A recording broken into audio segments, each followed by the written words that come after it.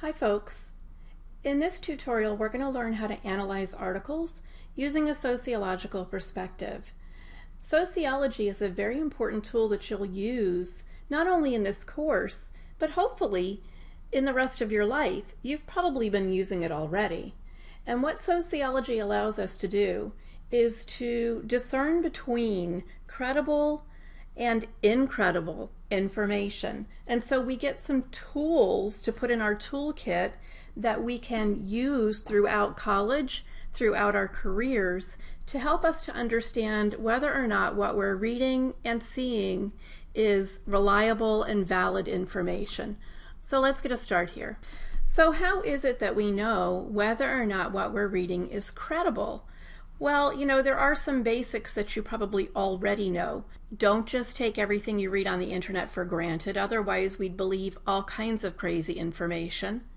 Look for reputable scholars and authors to back up what you're writing and what you're reading. And so credibility is a really important construct in the field of sociology because as researchers, one of the things that we really have to work to maintain is our reliability. And so in interpreting research, you have to look for whether or not reliability and validity have met the appropriate threshold. And these are really important research terms. All right, so anytime you read research, anytime you want to find research to use, for example, for a research paper or a literature review, you want to be asking yourself two basic questions, and those questions pertain to reliability and validity. Reliability defined in a research sense is can you trust me, the researcher? Do I have the right credentials? Am I qualified? Do other people in the academic field uh, believe me and respect my writing? So you're going to be looking for, when you're looking for reliability, you're going to be looking for credentials, you're going to be looking for a history of writing books or writing research articles that have been validated through a peer review process. Those are really important things to look for, and that comes with practice. The more that you do research, the more papers you write for college, and the more research you do in a career setting, the more you get to be able to recognize whether or not the researcher is reliable. The second construct is the construct of validity. Did I measure what I told you I would measure when I set out to do my research? And in the field of sociology, this is a really important construct or concept, this idea of validity. Because sometimes you may start out a research project wanting to measure a specific thing, and as the research goes on month to month, you might find that as a researcher, you haven't really done a good job of capturing a good, solid measurement. And so again, this is one of those things that as you get more and more involved in doing research or reading research, you'll become more comfortable with trying to figure out or assess the validity of the actual research that you're reading. So again, reliability and validity, really important concepts for you to understand. Now, in my opinion, because I'm a sociologist, there are a couple of things that sociologists do really well. This doesn't mean that other academics don't do these things well also. But I feel like I should express to you that sociologists spend a lot of time conceptualizing their research and then operationalizing their research. So let me tell you about, again, these two very important research concepts. Conceptualizing. This means that as I start to think about research that I might want to do, I really take my time to think about what I want to research, how I want to research it. As I've spent my time planning how to do this research, taking that information in my head and putting it on the page so that when you, the reader, reads my research or reads about my research, you have a clear picture of exactly what it is I'm trying to do. So it's kind of like setting the stage. It's thinking about the mechanics of the research inside my head. For example, what kind of method will I use? What will my research design be? How will I measure using my variables, my independent and my dependent variables? Will I be able to find a population to study? And will I be able to get a random sample from that? Now, we'll cover the details of actual research design and method and variables in a later lecture, but for now it's important for you to understand the idea behind what it means to conceptualize a research project. The other thing here is operationalizing, and this comes when I actually have the mechanics of the research on a page, so to speak. I've figured out what my method will be, what my design will be. I figured out my variables, independent and dependent, and potentially control variables. I've decided what my population will be, and I've figured out how to get data from them. So all of these things happen when we're operationalizing our research. And this is really, really important for you as a beginning student of sociology to understand.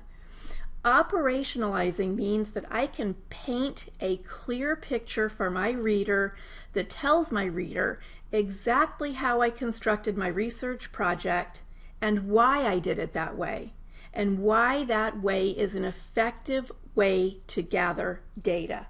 That's the concept of operationalizing. All right, now, through the course of this particular lecture series, which is going to teach you how to analyze what you're reading, we're going to be looking for some specific information. And as we go through this series of lectures, there will be about four or five of them, maybe a few more. We're going to learn some specific concepts.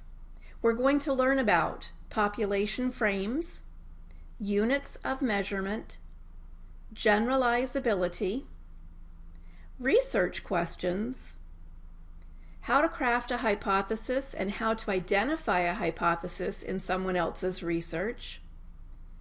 We're going to learn about variables and variable relationships. In the field of sociology specifically, we're going to learn about our research designs, our types of methods.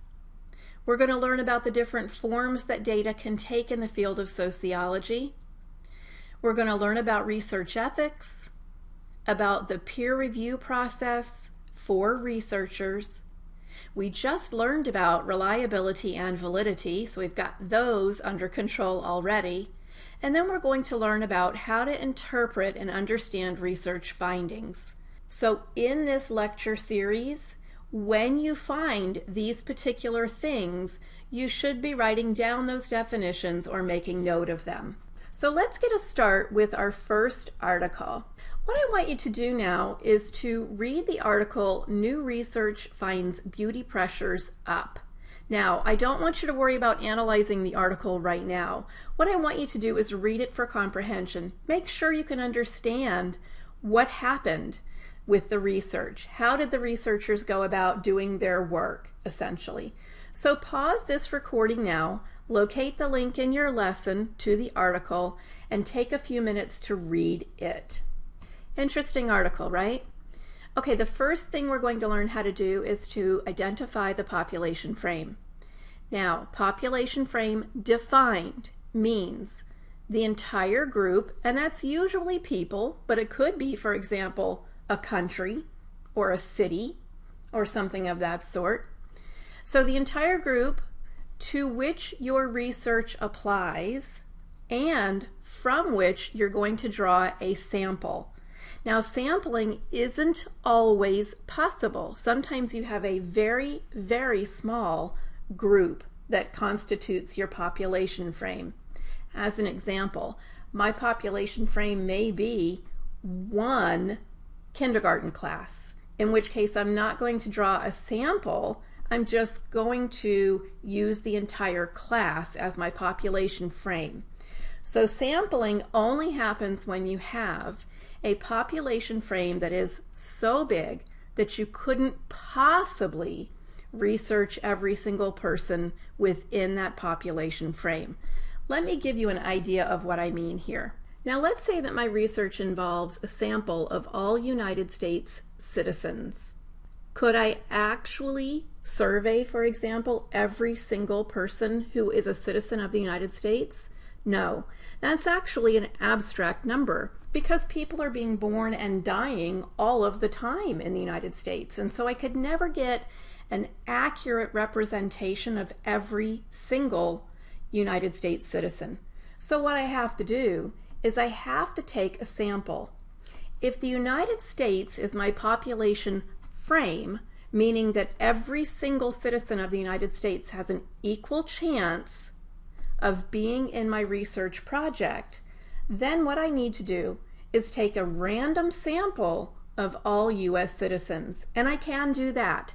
There are techniques that we have available to us as social science researchers that will allow us to get a sample that represents the population of the United States with regard to racial and ethnic composition, with regard to age, with regard to gender, with regard to urban versus rural environment, and so on and so forth. So it's my job as a researcher when I determine my population frame to make sure that I get a representative sample of that entire population. And when I do that, that means that I can generalize my findings, generalizability. All right, generalizability, another one of those really important research terms, especially when we're dealing with a large population frame from which we want to get a random sample. If we get a good random sample, meaning that if the characteristics of the sample I draw match the characteristics of my population frame, then I can generalize my findings what I can say is that my findings match the larger population. Now, that does not mean that every single person will have the same belief or attitude or feeling about what I'm trying to measure, but it means on average that most of the people in that population will share the same attitude, feeling, or belief. That's a really important thing for you to understand. So, in order to determine when you're reading research whether or not the research is representative or can be generalized, you have to know what your population frame is. So, you have to be able to pick those things out. And sometimes when you're reading research, especially when you're reading it from just a general type of news article on the internet, that information might be left out. So you're going to need to do some additional work. Okay, let's move on. So let's pause the recording now and go back to that article. Let's see if you can figure out the population frame for the research article, New Research Finds Beauty Pressures Up. Do that now. So, now as you go through this article, there are actually two areas here which talk about how they drew their sample. The very first paragraph has some information, very brief. 10,500 females across 13 countries. And then, as you go on a little bit further in the article, you find that there's also some more specific information towards the bottom. Researchers drew representative samples of 6,000 women aged 18 to 64 and 4,500 girls aged 10 to 17 in 13 countries. It lists most of the countries here. The countries were selected to represent diversity of women and girls in terms of culture, beliefs, social pressure, and economic development, as well as diversity of culture and tradition around beauty beliefs. The samples also accounted for variety with regard to age, region, and social class. So, can we say that this research has representativeness for all women? Well, probably not, but it's probably pretty doggone close. They did a good job of trying to account for variety for women around the world, which means that we probably could generalize these findings. In other words, the 10,500 women and girls that were surveyed can be said to be representative of most women around the world. So that's how you look for a population frame. That's how you look for representativeness. That's how you look for generalizability. So is the population frame all women? Or is the population frame just the women in those countries? Well, if we're going to say that this research is generalizable and that it has representation for all women, our population frame is all women and girls in the world. So I hope that makes sense, and if it doesn't, now would be the time to ask on your discussion board. Now, another important concept when we're talking about population frames and representation is margin of error. Now, I don't want to turn this into a statistics course, but we do have to understand in a basic kind of way the term margin of error. So, all units of a population have an equal chance to be selected if we're going to get a random sample that we can say represents that larger population frame. But as I said, we know that there's never going to be one exact moment in time when every single unit of a population frame has an equal chance of participating. As I said, some people die, some people are born, people move away, people move in. So there's never a time when we can be absolutely 100% sure that our sample represents the population frame. And that's what causes a margin of error. The margin of error is the amount that your sample varies from your population frame. And so usually that's expressed in terms of a percentage. Generally speaking, it's a plus or minus, and you'll see it when you see statistical information reported. Let me give you an example.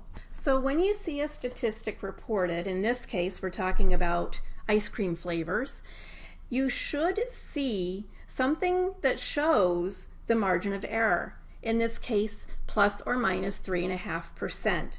So we say 25% of citizens of the United States state that their favorite ice cream flavor is vanilla with a margin of error of 3.5%. This means that the actual percentage of citizens could vary from a low of 21.5% to a high of 28.5%. So it's really important for you to be able to identify a margin of error when you're learning about statistics. I'll give you another prime example to think about. Right now, we're in the throes of a presidential election in the United States. And so it's really important that when you're digesting statistics about polling, in other words, who's on top, which candidate is doing better than the other, then you need to know what that margin of error is. If it's a low margin of error, then you can be relatively confident in those results. But if it's a really high margin of error, say 7 or 8%, which would be unusual, but it is still sometimes reported, then you really need to think about what those statistics are saying to you. All right, let's move on. So the final thing that I want to cover in this particular lecture is what a research question is. Now, I know that all of you have learned the scientific process since, oh, I don't know, maybe the third grade, and you should be really familiar, at least in a general kind of way, with the steps of the scientific process or the research process. When you develop a research question, you're at the very first step of the scientific process. And what you want to look for when you're trying to figure out what a research question might be for a particular research uh, project is what are the researchers trying to measure?